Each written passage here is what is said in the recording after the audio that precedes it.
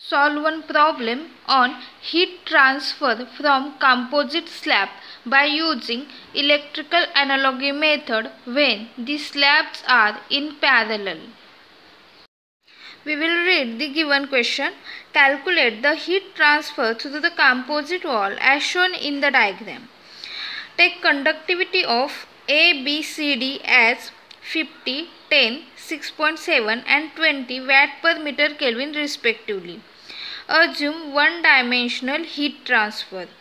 Take temperature on one side that is T1 is equal to 800 degree Celsius where, where the temperature on the other side T2 is equal to 100 degree Celsius.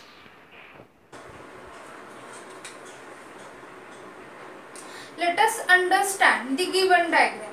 Here different material is given material A, B, C and D. We will assume the heat transfer is taking place from the left hand side towards the right hand side and we will show here the direction of the heat flow. So I will show here direction of heat flow in towards the right hand side and here is Q. Now what is the initial temperature? So initial temperature T1 is given 800 degree Celsius and the final temperature T2 is given 100 degree Celsius and the heat transfer is taking place in between this T1 and T2 through the different materials by the conduction process. Now for this material A, conductivity Ka is given that is 50 watt per meter Kelvin.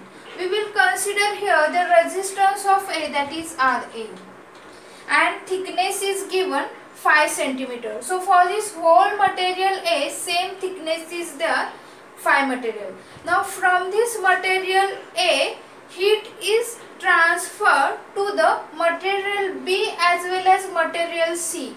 So if we observe these both materials B and C is in contact with material A. Now for this material B, conductivity Kb 10 watt per meter Kelvin and for this material C, Kc is 6.7 watt per meter Kelvin and for this B and C having the same thickness 20 centimeter. So we can say that the the heat is transferred from the material A is getting divided in between this B and C. So this B and C are in parallel. Then again from this B and C the heat is conducted towards T. So here resistance for this B I will say RB and resistance for the heat conduction through this material C I will say RC. Now the heat conducted this material B and C towards material D. So here is the same material having thickness 5 centimeter and conductivity Kd is equal to 20 watt per meter Kelvin. So I will say here the resistance to the heat transfer through material D is nothing but Rd. And here is the final temperature for this wall that is T2.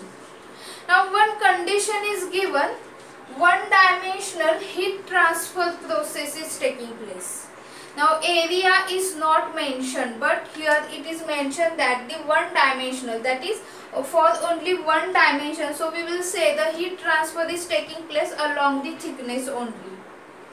Now if we consider this heat transfer process is taking place along the thickness then if I consider the area for this material A that is A to the base A is equal to 1 meter square then for this area the heat is conducted that is from this area 1 meter square heat is conducted to two different materials B and C. So we can consider here that is 1 meter square we have to divide into two parts that is the two equal parts for B and C. So area of B I will say 1 divided by 2 that is 0.5 meter square. In the same way area for C that is A to the base C is equal to 0.5 meter square. Then again in the same way here for this B and C same material is in contact and for the area of this material D that is A to the base D I will say again 1 meter square. So this area is not given but from the diagram we have to decide. Then we will develop the electrical analogous circuit. So how to develop? So here resistance of material A that is RA. Now initial temperature is T1. So we have to show the initial temperature T1 here. So uh, I will show here the temperature difference because this whole uh, heat flow process to conduction is taking place in between T1 and T2. So here I will show T1 minus T2 that is the temperature difference.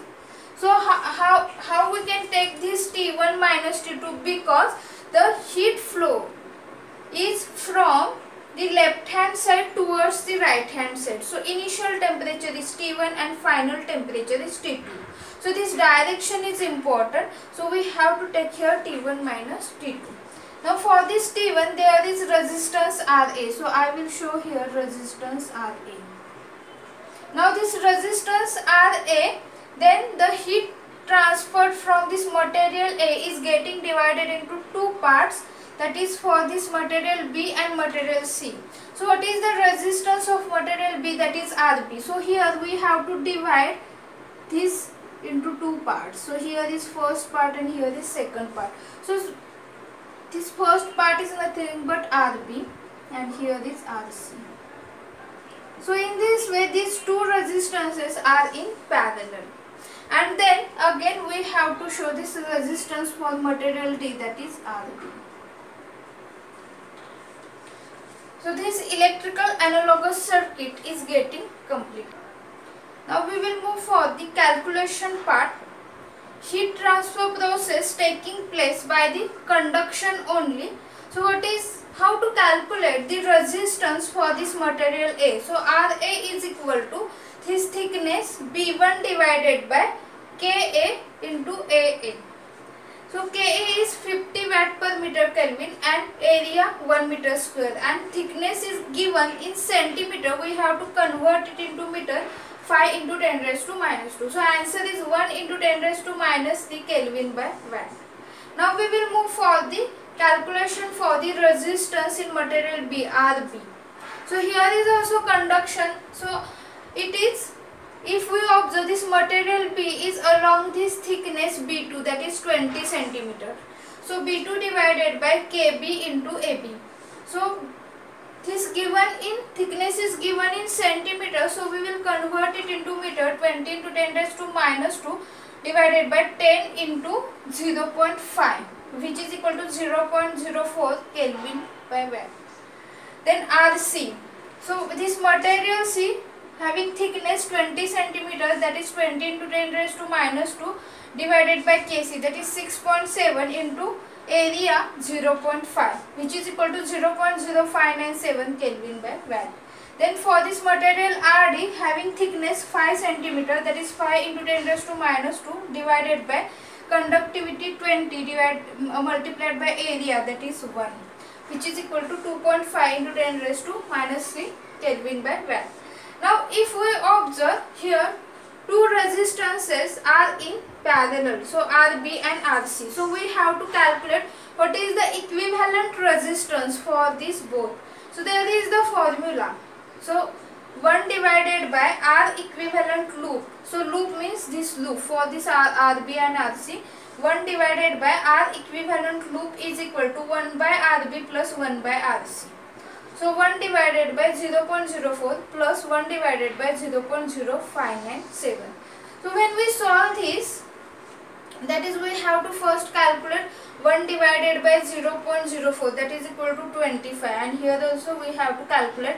Then answer is 41.75 so this 41.75 is equal to 1 divided by r equivalent so what is the value for this uh, resistance for the equivalent loop? So if we transfer this to the left hand side and this 41.75 to the right hand side then R equivalent loop is equal to 1 divided by 41.75 and that is equal to 0 0.0239. Now we will calculate the summation of R. So this R equivalent loop that is instead of this RB and RC we have to put then RA, R equivalent loop and RD are in series. So what is the summation of R? That is RA plus R equivalent loop plus RD which is equal to 0.0274 Kelvin by watt. Now we will move for the question that we have to find out what is the heat transfer pro what is the amount of heat transferred or the heat flow that we have to find out.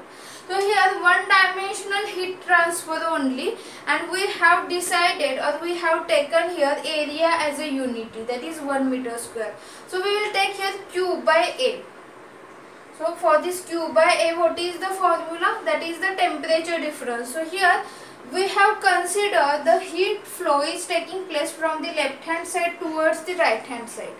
That is initial temperature is T1. So temperature difference T1 minus T2 that is 800 minus 100 divided by we have to take here summation of R that we have calculated 0.0274.